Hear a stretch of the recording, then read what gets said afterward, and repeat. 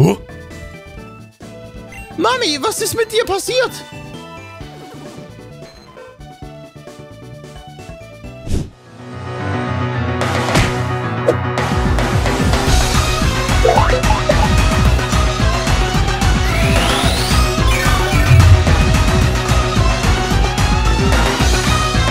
Meine Damen und Herren, willkommen zurück zu einer weiteren Folge von Pokémon Unbound.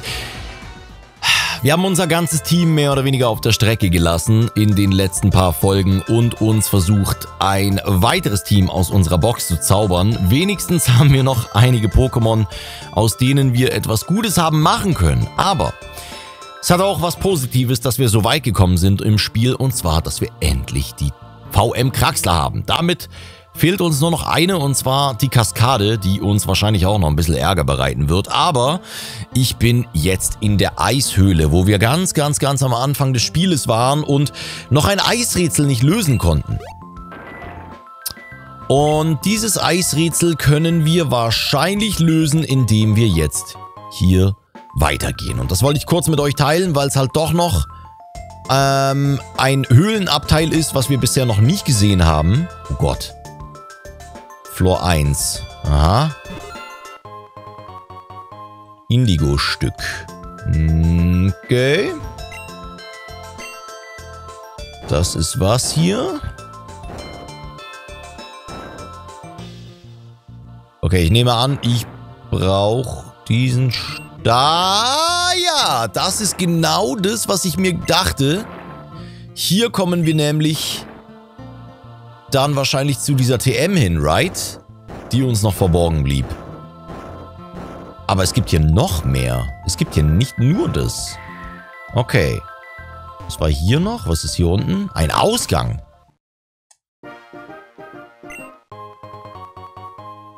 Rosenrauch, okay. Ja, gut. Ja, das wird wahrscheinlich eher dafür sein, um das Rätsel hier zu resetten, weil der Rosenrauch an sich, ja, ja, an der Rosenrauch an sich ist nicht wirklich nützlich an der Stelle des Spiels. Oh, Alter, hier gibt es aber noch ein paar Items, ne? Denn äh, wir sind vor den letzten zwei Arenaleiterorden und ja, Rosenrauch ist gut gemeint, aber aber jetzt auch nicht so, so, so gut, ne? Na gut. Ähm, ich finde noch ein paar Items, aber es gibt hier noch was. Es geht hier noch noch äh, nach links. Komme ich denn da hin?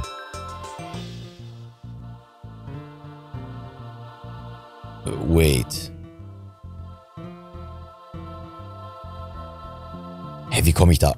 Bin ich, bin ich gerade...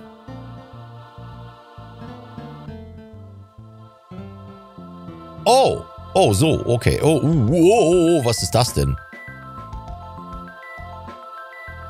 Okay. Ah, übrigens, ich habe noch außerdem äh, in dieser Höhle dieses Pont de Glyph-Rätsel gelöst, ne? Also diese Steinplatte. Das sieht mir wieder nach so einem richtig hässlichen Bosskampf aus, Digga. Ich bin ehrlich mit euch. Ich will da heute nicht hin. A, weil ich keinen Bock habe, wieder mein ganzes Team zu verlieren. Und B, weil ich einen Tauboga dabei habe, weil ich Gengar ablegen musste, weil ich keinen Fliegen hatte für das Backtracking. Äh, ich glaube, diesen Bosskampf hier skippe ich einfach. Der wird safe wieder irgendeinen Megastein geben oder irgendwas.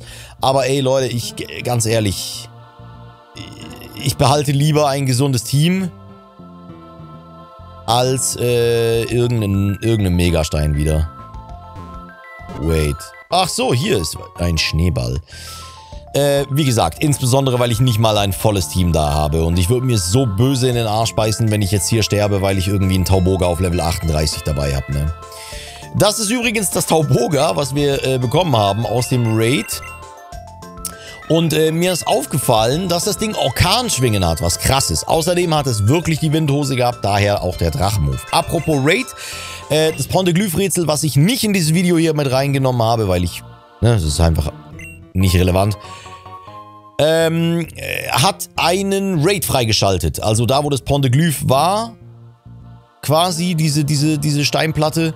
Da war lediglich äh, ein, ein Raid mit einem Flunkiefer und einem Flunkiefernit. Was richtig cool ist. Ähm, dementsprechend freue ich mich darüber. So, der wird safe Eis-Pokémon haben, oder? Dementsprechend haben wir ein neues Mega-Pokémon. Äh, ein potenzielles zumindest. Ein Stahl-Pokémon und ein Feen-Pokémon, by the way, auch. Also eine sehr gute Typenkombi, äh, die echt gut... Oh, Botogel. Er, er, hat gesagt, er war mal ein Birdkeeper, aber jetzt ist er ein, ein Skifahrer. Und Botogel passt da sehr, sehr gut dazu. Botogel hat der, die Typenkombination von Arctos, aber Arctos ist eins der absolut schwächsten legendären Pokémon, wenn es um den defensiven Typen geht. Denn er hat eine Vierfach-Schwäche gegen Stein. Eine Schwäche gegen Elektro, eine Schwäche gegen Feuer, eine Schwäche gegen alles mögliche. Keine Resistenz gegen Kampf und so weiter. Also Flug, Eis ist wahrscheinlich die schlechteste defensive Typenkombi, die du überhaupt haben kannst. Ähm, Okay, Panzerschrank macht Aerodactyl weg. Außer er hat Erdbeben, dann habe ich ein ganz, ganz, ganz dickes Problem, Digga. So, die Robustheit ist weg. Ich gehe für den Steinschädel. So, mit der Mega verlieren wir die Vierfachschwäche gegen Erdbeben. Wir kriegen Filter dazu. Die Robustheit ist eh weg. Wir verlieren die äh, Stahlschwäche. Yeah, Digga, du kannst gar nichts gegen Panzerschrank. Äh, ja, wie gesagt, da war einfach nur, ne, das habe ich nicht ins Video gepackt, weil ich äh, hier einfach ein bisschen Progress zeigen will und wirklich nur die, die interessanten Rätsel. Es war aber ein sehr, sehr cooler Raid mit einem Flunkiefer, äh, was ein Mega sein kann, ne? Du hast auch Flamethrower und so Lachs, ne? Okay, Peeplord. Ähm, ja, den Megastein für Taubos oder Tauboga habe ich noch nicht bekommen, leider. Uh, Kreideschrei. Aber wait. Das senkt die Def. Okay, ja, easy. Free Mondgewalt. Ähm, dementsprechend haben wir noch ein paar echt coole Pokémon. Vor allem, wenn Taubos die Orkanschwingen behält, dann ist es eigentlich ein cooles Ding, ne? Doppelflügel, okay. Ich weiß gar nicht. Dem seine... Ich muss mir mal dem seine Stats... ja komm, Windhose bringt wirklich nichts. Windhose ist Trash. Ich muss mir dem seine Stats mal genauer anschauen. Weil Luftschnitt ist super. Gerade in Kombination mit Orkanschwingen. Du bist immer schneller. Oh, wir kriegen eine Entwicklung. On Folge. Let's go. Wupp, wupp, wupp. Ähm, Orkanschwingen ist natürlich super geil mit Luftschnitt, weil dann bist du immer schneller und kannst immer flinchen. Aber wenn wir physisch stärker sind, dann gehen wir eher so auf die Orkanschwingen. Taubos hat halt leider einfach nicht die besten Werte, ne? Das ist halt so ein bisschen das, das, das, das Problem. Aber vielleicht macht Mega Taubos da ein bisschen was. So, gucken wir mal rein. Also, er hat immer noch Orkanschwingen. Und sein Angriff und sein Spezialangriff sind beide unglaublich schlecht. Oh mein Gott, die sind so niedrig wie die Defensivwerte und die sind schon wack. Der einzige Wert, der ganz gut ist, ist der Init-Wert, aber der wird eh von Orkan... Oh Mann, ey. Die Schlaubrille. Okay, das ist, das ist okay. Das ist ein gutes Item. Das kann man machen. Na gut. Ja, Leute, seid mir nicht böse, aber wie gesagt, das ist jetzt irgendwie so ein Bosskampf wieder, so ein Triple-Kackkampf der wieder irgendwie auf Level 100 ist mit irgendwelchen Megas und so.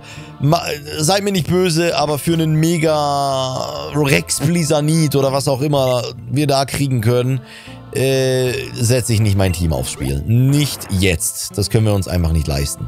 Äh, was wir uns aber leisten können, ist nochmal die Höhle hier unten zu besuchen, denn ich glaube, da war diese TM, die wir nicht kriegen konnten, oder? Yes! Okay, warte mal. Perfekt. Genau das dachte ich mir. Weil da kann man nicht hin, ne? Jawoll. Und es ist? Blizzard.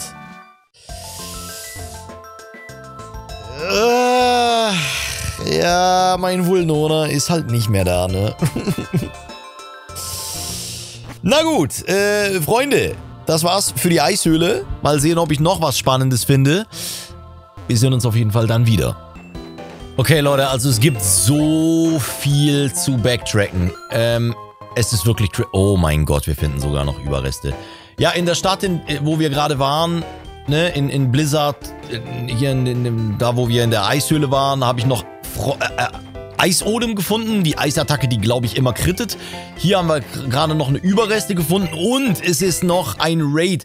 Also, äh, Leute, äh, wenn ihr Kraxler habt in diesem Spiel... Oh mein Gott, Pelipper. Wenn der Ehrenbruder...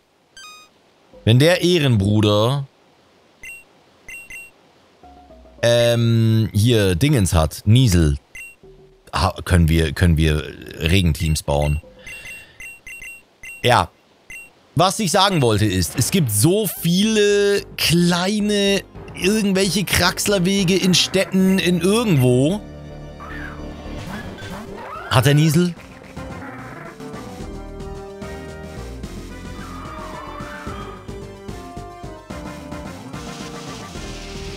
Alter, zeig mir jetzt, ob er Niesel hat! Oh mein Gott, er hat Niesel. Poggers. Ähm, ja. That's pretty much it, ne? Also, ich werde jetzt das nicht in die Folgen reinnehmen, weil ich weiß, euch juckt es nicht. Ihr wollt Progress sehen in der Story und so und ich kann euch verstehen. Ich will auch endlich weiterkommen in der Geschichte. Aber äh, ja, ihr habt gesehen, es geht so schnell in dieser Lok und wir sind alle kaputt. Deswegen versuche ich wirklich noch alles zu backtracken, was möglich ist. Ähm, um dann äh, das krasseste Team, die besten Pokémon, die besten Items vor allem zu haben damit wir äh, uns dann keine Vorwürfe machen müssen, wenn ich irgendwo dumm sterbe. Nicht wahr? So, auf jeden Fall werde ich jetzt dieses Pelipper fangen und noch ein bisschen backtracken. Vielleicht zeige ich euch das ein oder andere wieder wie hier, was äh, der Rede wert ist, weil das halt echt teilweise gute Items oder was auch immer sind. Ähm, aber ja, wir sehen uns gleich. Schnibbidi, schnabbidi, buh! Okay, ich äh, bin hier gerade unterwegs in diesem regnerischen Dingens. Ne? Ich, ich bin ja gerade alles am Backtracken, so jedes, jedes Gebiet nochmal pretty much. Oh. Das ist die Musik von Selfe Mesprit und, und äh, Uxi, oder, oder wie die, ne? Warte mal. Äh, und Tobi und Tobuts, meine ich.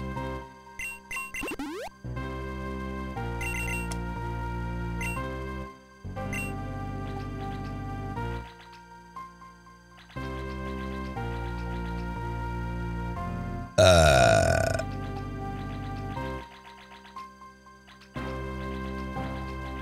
Okay.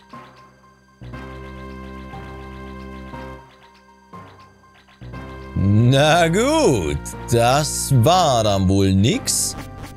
Ja, wollte ich euch einfach nur kurz zeigen. Äh, ich habe übrigens hier auch noch einen komischen Trainer gefunden, der mein Macho-Band für Ewigsteine irgendwie... Also er hat mir ein Macho-Band geschenkt.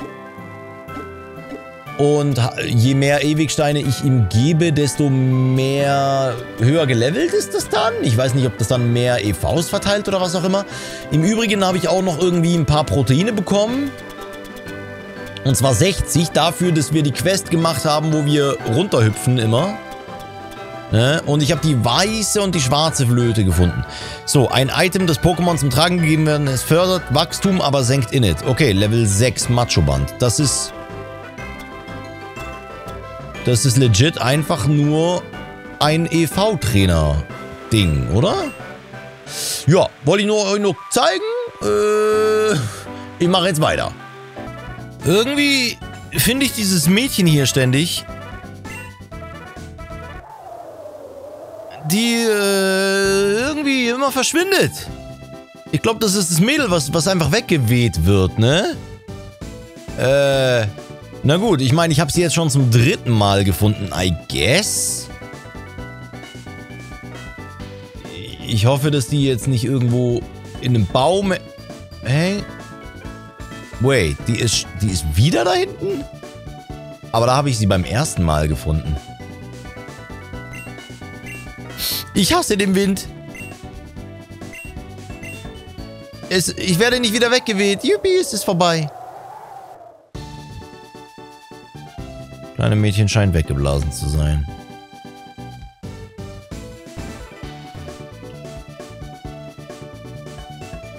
Okay.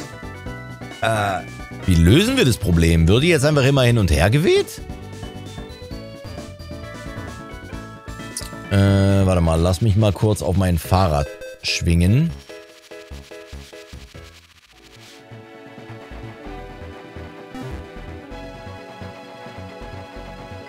Wo, wo ist denn die? W warte mal, wo habe ich denn die jetzt?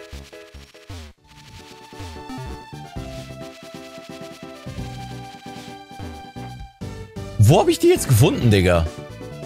Ja, die war irgendwo am Stra... Okay, Leute, ich muss die nochmal suchen. Oh mein Gott, die war einfach auf der ganz anderen Seite. So schwindlig. Mami, du hast mich gefunden. Dich so vermisst. Ich hatte solche Angst. Dieser große böse Wind hat mich immer wieder weggeweht. Ich will jetzt heim, Mami. Mir ist wirklich schwindlig. Mami, warte. Vergessen dem Retter was zu geben. Wow. Okay, ich kriege hier einfach irgendwelche Machtgürtel. Und die hat nicht mal mit mir geredet, Alter. Huh? Mami, was ist mit dir passiert?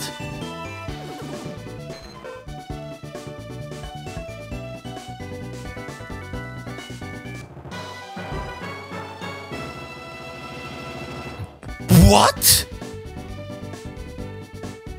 Was habe ich da gerade gesehen mit meinen Äuglis?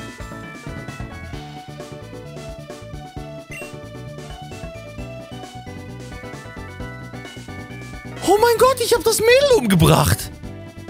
Ich dachte, ich hätte es gerettet, aber ich habe das kleine Mädchen umgebracht.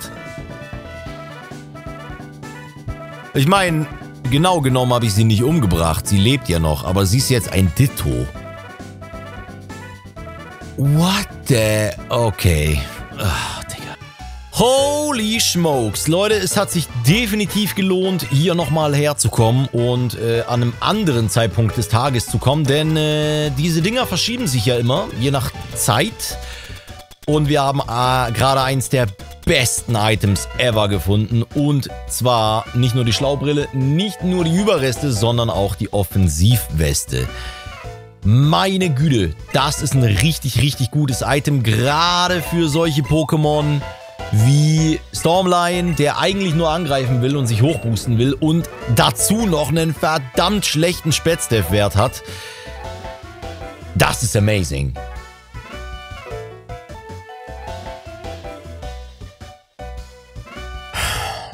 Ich will an dieser Stelle sagen, dass ich gerne weinen möchte.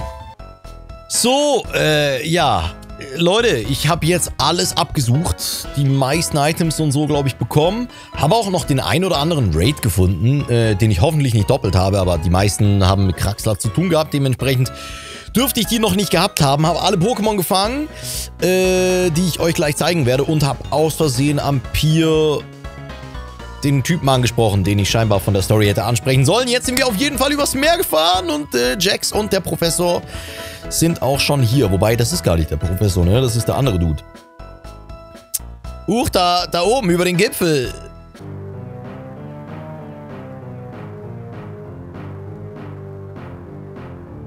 Äh, oh, äh, oh, warte mal, das ist doch der Opa.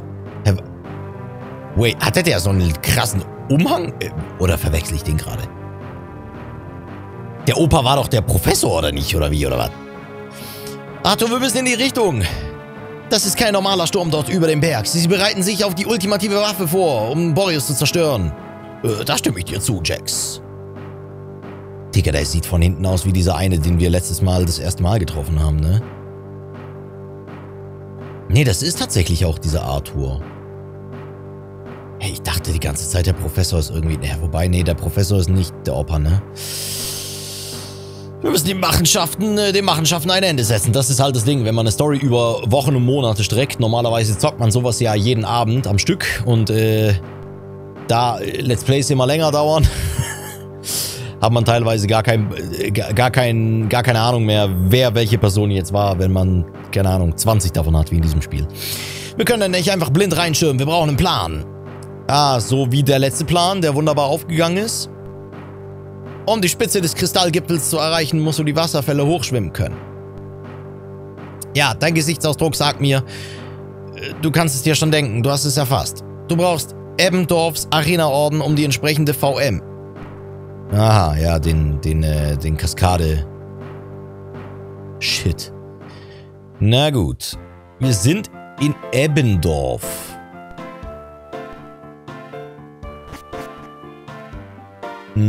Okay.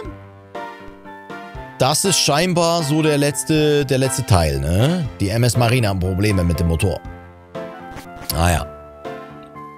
Na gut.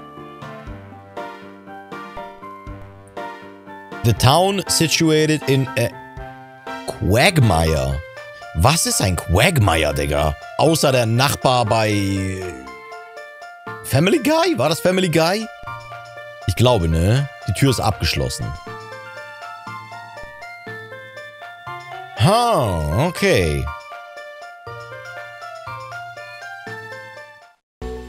Das sieht mir aus wie eine sumpfige Landschaft. Äh, und es sieht auch, als wären hier wieder viele fremdländische Menschen. Ich glaube, denen muss ich hier in der, in der Folgenpause mal allen Deutsch beibringen.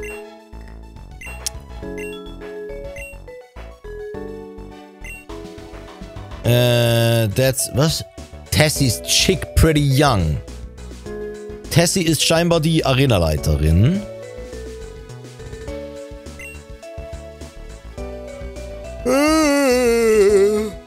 Aha, okay. Na gut. Äh, ich zeige euch noch kurz die Pokémon, die ich gefangen habe. Die waren nämlich ziemlich sick. Nur die Wesen sind natürlich mal wieder absoluter Schmutz. So. Äh, ich benenne die Pokémon übrigens nicht mehr, wenn sie auf der Box landen, wenn wir so viele haben wie jetzt aktuell, weil sonst haue ich einen Namen raus und falls wir den gar nicht verwenden, weil ich das Pokémon nicht mehr mitnehme bis zum Ende der Nuzlocke oder falls wir verlieren, dann haben wir nicht Kanalmitglieder auf einer Box, die dann da äh, rumgammeln und, und nie zum Einsatz kommen, sondern wir haben verschiedene Pokémon. Wenn ich was ins Team aufnehme, dann benenne ich es. Ja, damit verhindern wir das so ein bisschen, dass die, die Leute da nicht drankommen. So, Pelipper mit einem harten Wesen, da habe ich mich schon gefreut, ne, mit Niesel. Mm, direkt weitergegangen ist es dann mit Flunkiefer. Ein wunderschö wunderschönes Pokémon mit einem mäßigen Wesen. Auch da habe ich mich richtig gefreut. ist quasi die schlechteste, die zwei richtig gute Pokémon, die die schlechtesten Wesen haben. So, mit roher Gewalt haben wir auch einen Effekt, den ich nicht unbedingt will. Mit roher wäre definitiv besser gewesen. Und ich glaube, in der Mega kriegt das Ding Kraftkoloss, ne? Da verdoppelt sich dann der Angriffswert. Äh, der einzige Wert von Flunkiefer, der irgendwie die, was taugt. Ähm, außer, ich glaube, der Def. Ja. Auf jeden Fall. Das ist Flunkiefer. Dann haben wir noch zwei Pokémon gefunden. Hier Dressella. Äh, mit Gleichmut. Ui, verhindert Verwirrung und Bedrohung. Tschüss. Und zu guter Letzt haben wir noch Flampivian von einem Berg, wo so ein Kampfsportler war, mit einem milden Wesen. Das ist natürlich auch ultra schlecht. Insbesondere die Fähigkeit ist auch nicht gut. Der hätte auch Kraftkoloss, hat jetzt aber den Trans-Modus. So. Mh, mm, aber okay. Es ist ein Flampivian und wir brauchen ja nicht immer das gleiche OP-Flampivian, sondern man kann ja auch einmal das andere spielen. Ähm, wobei, ehrlich gesagt, das Wesen ist gar nicht so schlecht für einen Transmode Flampivian. Wir müssen nur den Hit tanken. Nicht wahr? Danach werden ja die Spätzdef und die Def-Werte sehr viel höher und der Spätzangriff auch tatsächlich. Also von daher. Ist nicht gut, aber definitiv jetzt auch nicht das Schlechteste. So, das waren die Pokémon. Und in der nächsten Folge geht es dann weiter. Bis dann haben hoffentlich alle Leute hier Deutsch gelernt und wir sehen uns in einer neuen Aufnahme. Ich habe schon ein bisschen Bammel vor den Arenen. Ich mag Arenen nicht in diesem Spiel. Die sind immer super weird und äh, mega unpredictable. Aber wir werden sehen. Lasst einen Daumen da. Wir sehen uns in der nächsten. Peace.